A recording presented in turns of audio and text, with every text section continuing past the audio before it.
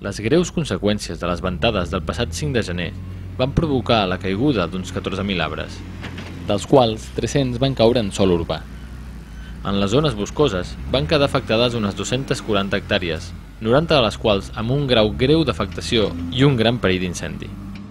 En una primera fase el que es va plantejar a l'AMD lògicament va ser intervenir a nivell de eh, les feines més urgents, les feines més urgents era la retirada d'arbres al carrer, i eh, la restitució de tot el que eren els serveis més urgents, és a dir, eh, línies elèctriques, eh, les reparacions de, dels danys que hi havia hagut a, la, a les escoles i als edificis municipals. La saturació de serradores i gestors de residus van fer necessari l'acumulació de les restes vegetals triturades a diferents zones de Valldoreig fins al mes de juliol,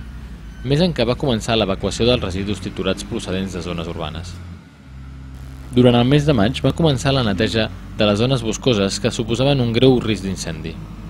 Per tal d'evacuar de forma urgent aquestes restes, l'MD de Valldoreig va contractar els serveis de Forestals Oliva, que va netejar les zones boscoses amb un procediment que incloia la neteja i l'evacuació de les restes vegetals per a ser utilitzades com a biomassa. El professional Forestals Oliva ha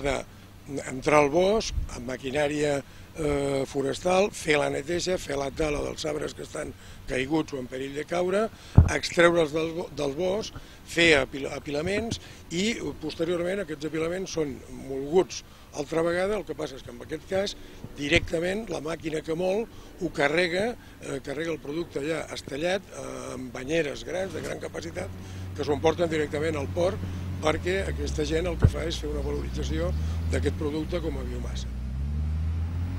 Es preveu que les actuacions finalitzin abans d'acabar l'any.